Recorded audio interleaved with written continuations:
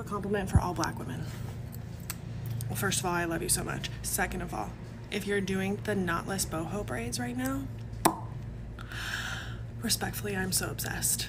They are the most ethereal, majestic, mermaid, waterfall works of art on your head, and it is consuming.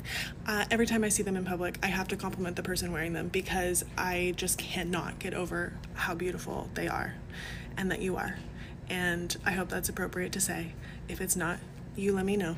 But I am very married, and yet these braids consume my brain. When you put charms in, charms in them, like little rose quartz pieces, or gold pieces, or charms, or jewels.